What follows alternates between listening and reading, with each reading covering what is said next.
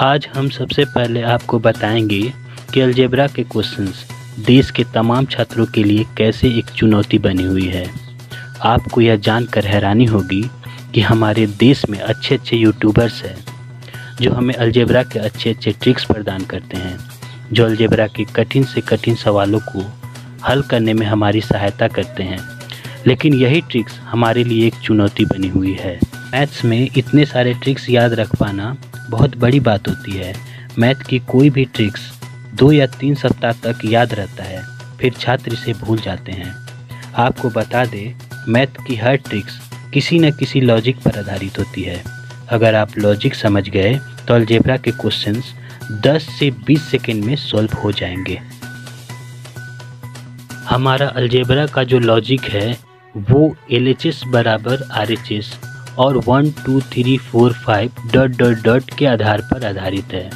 इस लॉजिक को समझने के लिए आप लोगों को इस छोटे से क्वेश्चन को ज़रूर देखना चाहिए। मेरा दावा है, इस लॉजिक पर U P S C C G L C H S L और रेलवे आदि के क्वेश्चंस भी आसानी से सॉल्व हो जाएँगे। बस अब इस क्वेश्चन को गौर से देखिए। इस प्रकार के सवाल को सॉल्व करने के लिए कुछ कंडीशंस ध्यान में रखना होगा। जैसे, अगर सवाल x plus one by x बराबर टू हो तो इस कंडीशंस में हम x को हमेशा वन मानेंगे। और x का वैल्यू वन मानकर पूछे गए क्वेश्चंस में x का मान रख देंगे। जैसे x का मान वन है तो यहाँ वन रखेंगे। वन का पावर फाइव प्लस वन बटा एक्स का मान वन रखेंगे। उसका पावर फाइव तो ये हो जाएगा वन का पावर कुछ भी हो, ये वन ही होगा, ये भी वन ही होगा तो वन बटा वन मतलब one one plus one two इस तरह से हमारा आंसर टू होगा।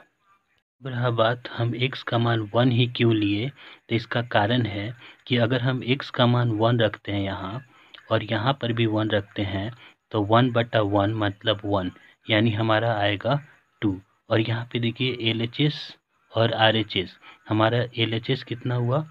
ये जोड़े तो दो। यानी हमारा एल एच एस बराबर आर एच एस वाला लॉजिक पूरा सही साबित हो जाएगा। ठीक है? तो इसी तरह हम लोग इसी सिद्धांत पर कई सवाल को आसानी से सॉल्व कर पाएँगे। कि क्वेश्चन देखने में बहुत ही डरावने होते हैं, लेकिन ये क्वेश्चन बहुत ही इजी सॉल्व हो जाएगा। यहाँ पर देखिए एल में माइनस सिक्स है। इस माइनस सिक्स को आर में ले जाइए। इसका साइन चेंज हो जाएगा। यानी ये इस तरह हो जाएगा। A plus one by A बराबर माइनस फोर ये उधर जाएगा। प्लस सिक्स हो जाएगा। और इस तरह से A plus one by A बराबर हमारा हो जाएगा प्लस टू और हम पहले ही बोले थे कि A plus one by A बराबर अगर टू हो तो ए का मान हम रखेंगे। हमेशा मान लेंगे वन वन मान लेंगे और इस ए का मान जो वन आया है, इसको इसमें बैठाएँगे। तो ए का मान वन रखेंगे तो वन का पावर कुछ भी हो, वन ही होगा, माइनस वन बटा वन मतलब वन ही होगा। ठीक है? और इसी तरह यहाँ पे भी ए का मान वन रखेंगे, कुछ भी पावर हो, वन ही होगा।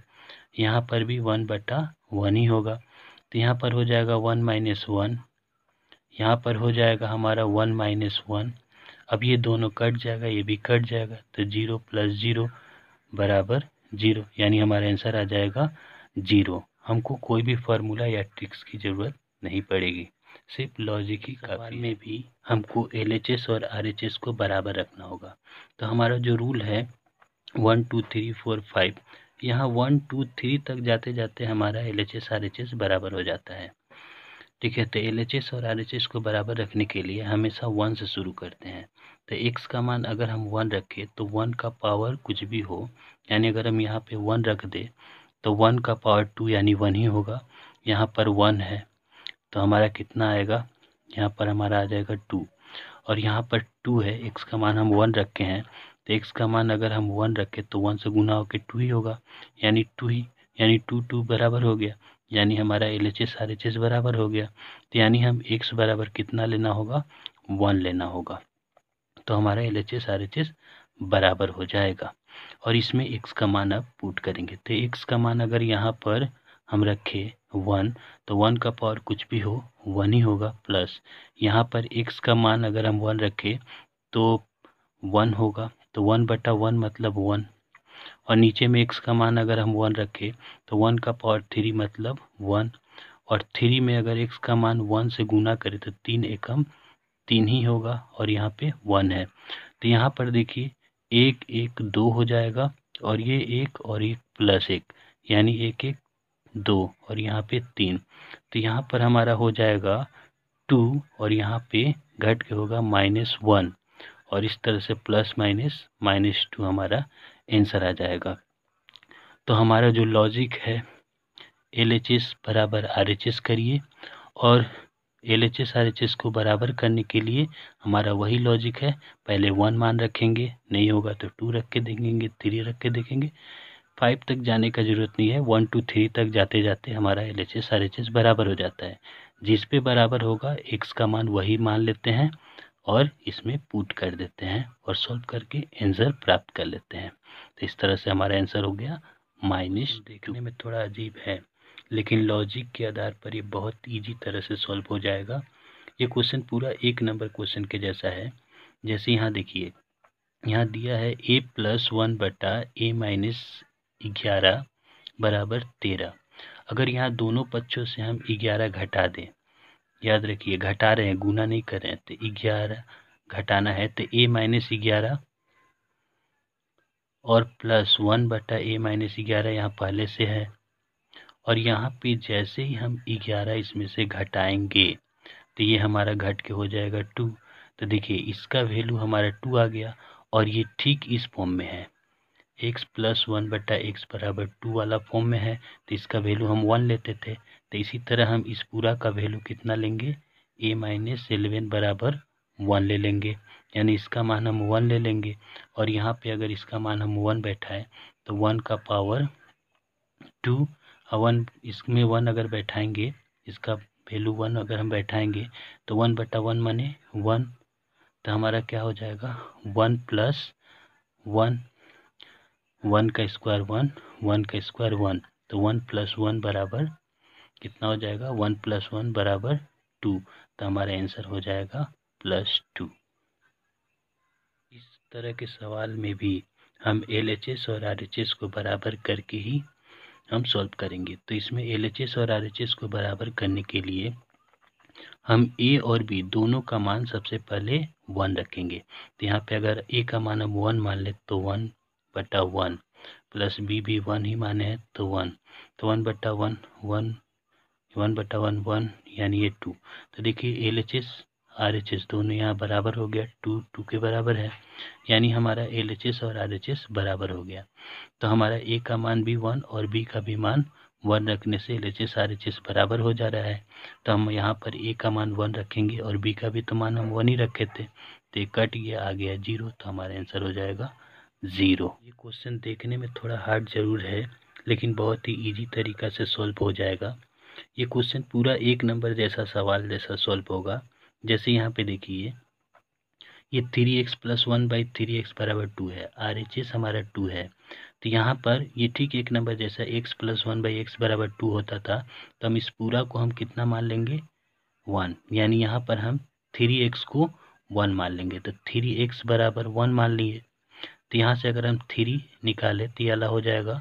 वन बटा एक्स यानी वन बटा एक्स जहाँ पर है, वहाँ थ्री रखेंगे। तो अब इस सवाल में देखिए। इस सवाल में यहाँ पे वन बाई एक्स है तो वन बाई एक्स मतलब तीन। तो यहाँ पर थ्री इसका मतलब हो जाएगा थ्री तो थ्री का पावर कितना? फोर यहाँ पर हो जाएगा वन बाई एक्स का वैल्यू कितना है? थ्री तो यहाँ भी हो जाएगा थ्री का पावर फाइव यहाँ हो जाएगा थ्री का पावर फाइव और ये अंदर रूट तो ये हो जाएगा थ्री का पावर गुना में पावर पावर जोड़ देते हैं तो थ्री का पावर यहाँ एक है, कुछ नहीं, यानी एक है, और ये चार तो एक और चार पाँच हो जाएगा। और यहाँ थ्री का पावर फाइव है, यहाँ भी थ्री का पावर फाइव ही है और अंदर रूट तो यहाँ पर थ्री का पावर फाइव के बार है, एक बार, दो बार, तीन बार, यानी थ्री बार है, ये थ्री का पावर कितना? फाइव। एक बार, दो बार, तीन बार, यानी थ्री का पावर फाइव, तीन बार है, और ये अंदर रूट तो ये हो जाएगा थ्री का पावर गुना में पावर पावर जुड़ जाएगा तो पाँच और एक छः हो जाएगा अंदर रूट किसी का रूट जब आ जाता है तो इसका मतलब होता है उसका पावर हाफ़ यानी एक बटा दो. तो ये दो से ही कटेगा, दो छः तो यानी थ्री का पावर आ जाएगा थ्री, यानी थ्री का क्यू कितना होता है? ट्वेंटी सेवन यानी हमारा आंसर आ जाएगा ट्वेंटी सेवन यानी सत्ताईस. सवाल देखने में बहुत हार्ड है, लेकिन लॉजिक की सहायता से बहुत ईजी में बन जाएगा। इस तरह के सवाल को बनाने के लिए वही रूल है एल एच एस बराबर आर एच एस करेंगे। तो हम सबसे पहले मान रखते हैं कितना से वन से। तो देखिए, यहाँ पर जो एल एच एस दिया हुआ है, इसमें इस पूरा का मान हम अगर वन रख दें, और इस पूरा का भी मान अगर वन रख दें, इस पूरा का मान भी अगर वन रख दे ये तीनों जुट कर कितना होगा? एक, दो, तीन। और आर एच एस कितना है? तीन। तो इस तरह से हमारा L H S R H S बराबर हो जा रहा है। तो यानी हम प्रत्येक टर्म को कितना माने हैं? वन माने हैं। तो हम कोई एक टर्म को ले लेते हैं। तो यहाँ पे देखिए एम माइनस ए स्क्वायर और ये है B square plus C square इसको हम कितना माने हैं? वन। तो ये वन के बराबर कर लेंगे। और यहाँ से तिरछा तिरछी गुना करेंगे। तो नीचे वन है तो वन से गुना होगा तो एम माइनस ए स्क्वायर बराबर। ये वन से गुना होगा तो होगा B square plus C square और इस तरह से यहाँ एम का अगर हम मान निकालें तो ये बी स्क्वायर है और ये सी स्क्वायर है। ये उधर जाएगा तो हो जाएगा हमारा प्लस ए स्क्वायर और इसको हम सजा देंगे तो हमारा हो जाएगा A square B square C square यानी एम बराबर A square plus B square plus C square हमारा आंसर आ जाएगा। तो यानी हमारा आंसर हो जाएगा ऑप्शन सी। तरह के सवाल को भी हम एल एच एस बराबर आर एच एस करके सॉल्व कर सकते हैं। तो वही हमारा लॉजिक है एल एच एस बराबर आर एच एस और हम मान रखते हैं, स्टार्ट करते हैं वन से। तो सबसे पहले हम ए, बी और सी तीनों का मान वन रख कर देखते हैं। तो अगर हम ए का मान वन रखें और वन का स्क्वायर वन ही होगा। बी का मान वन रखे तो वन ही होगा, सी का भी मान वन रखे तो वन ही होगा। और यहाँ पर देखिए ए, बी दोनों का मान वन वन तो वन वन गुना होगा तो वन ही होगा। यहाँ पे वन वन गुना होगा तो वन ही होगा। यहाँ पर भी सी और ए का मान वन वन रखेंगे तो वन ही होगा। यानी हमारे यहाँ जुट के थ्री, यहाँ पे जुट के थ्री हो गया। तो इस तरह से हमारा L H S R H S बराबर हो गया। और हम मान क्या रखे थे? ए बराबर भी वन बी बराबर भी वन और सी बराबर भी वन रखे थे। तो यहाँ पर ए का मान वन सी का मान वन और बी का मान वन रखो। तो देखो क्या होगा, यहाँ पर एक और एक दो हो जाएगा और नीचे एक। तो यानी दो बटा एक माने दो, यानी हमारा आंसर हो जाएगा दो। यानी ऑप्शन सी सही होगा। इस क्वेश्चन को भी सॉल्व करने के लिए एल और आर को बराबर करना होगा। देखिए और हमारा logic one two three four five पर आधारित है, जो कि एक पूर्ण संख्या है। अगर हम इसमें L H S R H S को बराबर करें और ए बी सी हम तो मान रखते हैं वन से तो अगर ए बी और सी का मान अगर वन वन वन रखें तो यहाँ थ्री होगा। और यहाँ एस का मान वन पॉइंट फाइव रखेंगे तो गुना होकर थ्री होगा। लेकिन पॉइंट रखने से पॉइंट में मान रखने से, इसको सॉल्व करने में बहुत दिक्कत होगा। ठीक है, इसलिए हम एक पूर्ण संख्या में इसको बराबर करेंगे। यानी इसमें हम पूर्ण संख्या में मान रखेंगे। तो अगर हम ए का मान टू रखें बी का भी मान अगर हम टू रखें और सी का भी मान टू रखें तो टू टू टू यानी हमारा दो दो चार, दो छः यानी छः होगा। तो हम को एस का मान कितना रखना होगा कि ये भी छः हो जाए? तो यहाँ पे थ्री रखना होगा, क्योंकि टू पहले से है तो दो तिहाई छः हो जाएगा। इस तरह से हमारा L H S R H S बराबर हो जाएगा। ठीक है? तो यहाँ पर हमारा होगा एल एच एस छः और आर एच एस भी छः हो जाएगा। और यहाँ पर हमको मान रखना होगा। तो एस का मान हमारा है थ्री। तो थ्री और ए बी सी का तो मान हम टू टू टू रखे हैं। तो तीन में से दो जाएगा एक और एक का स्क्वायर एक होगा। इसी तरह तीन में से दो जाएगा एक और उसका पावर टू। तो वन ही होगा। यहाँ भी तीन में से दो जाएगा तो आएगा एक और एक का पावर टू यानी एक ही होगा। और एस एस का वैल्यू कितना माने थे? तीन। तो तीन का स्क्वायर होगा नाइन और यहाँ पर टू का स्क्वायर फोर बी भी टू है तो टू का स्क्वायर फोर यहाँ सी भी टू है तो टू का स्क्वायर फोर तो हमारा ऊपर में हो जाएगा बारह और नीचे में हो जाएगा बारह। तो बारह बारह कट जाएगा, हमारा आंसर आ जाएगा वन यानी हमारा ऑप्शन सी सही होगा। इस क्वेश्चन को भी सॉल्व करने के लिए L H S R H S को बराबर करना होगा। तो देखिए, यहाँ पर आर एच एस हमारा कितना है? आर एच एस है दो।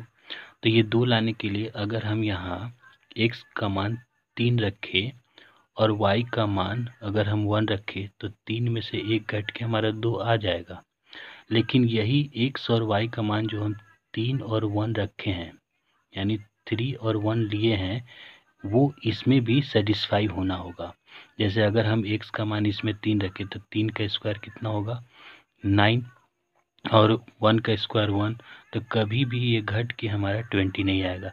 यानी हम ये थ्री और वन रखने से नहीं होगा। तब हम एक स्टेप बढ़ेंगे, दो लाना है। तो हम यहाँ पर एक्स का मान अब हम फोर लेंगे। तो फोर में से हमको कितना घटाने से दो आ जाएगा? तो ज़ाहिर सा बात है दो घटाना होगा। यानी एक्स का मान हमको फोर लेना होगा और वाई का मान टू लेना होगा। तब हमारा फोर में से टू घट के टू आ जाएगा। अब देखना होगा कि यहाँ पे सेटिस्फाई हो रहा है कि नहीं। एक्स का मान हम लिए थे फोर तो फोर का स्क्वायर कितना होता है? फोर का स्क्वायर होता है सोलह। प्लस वाई वाई का मान कितना लिया है? टू तो टू तो टू का स्क्वायर कितना होता है? फोर तो देखिए, ये जुट के सोलह और चार बीस आ जाएगा, यहाँ सेटिस्फाई हो गया। यानी हमारा एक्स और वाई का वैल्यू ये होगा एक्स का वैल्यू होगा चार और वाई का वैल्यू होगा टू यानी एक्स बराबर फोर और वाई बराबर टू अब यहाँ पर हम एक्स का मान कितना रखेंगे? चार।